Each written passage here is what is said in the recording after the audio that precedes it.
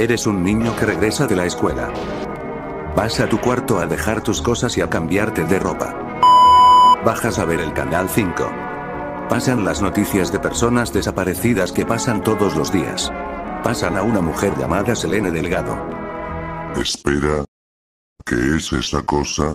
Para localizar a Selene Delgado López, de 18 años, se extravió el 22 de abril en la delegación Álvaro Obregón. Cualquier información, favor de comunicarse a los teléfonos de Canal 5. Incidente te traumaste con el caso de Selene Delgado.